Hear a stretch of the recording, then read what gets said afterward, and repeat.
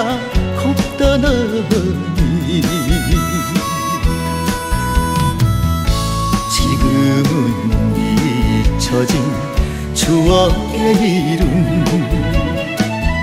어머님의 운동구름 바람이 문 풍기에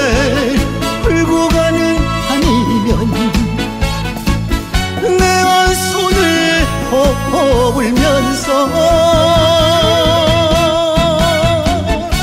눈시울을 적시며 살아왔던 어머니. 어,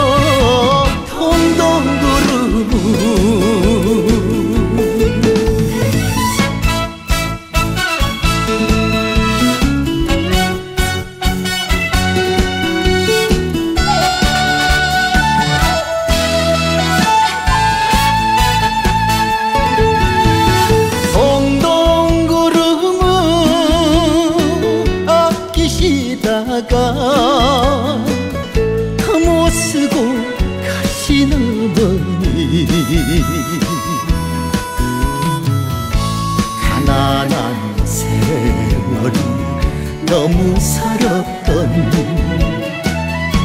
추억의 동동구름 달빛이 처마 끝에 울고 가는 아니면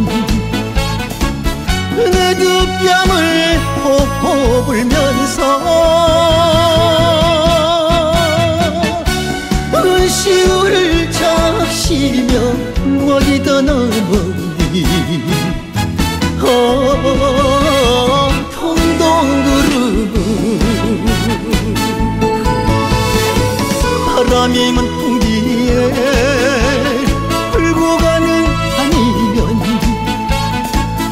내한 손을 허물면서 눈시울을 적시며 살아왔던 어머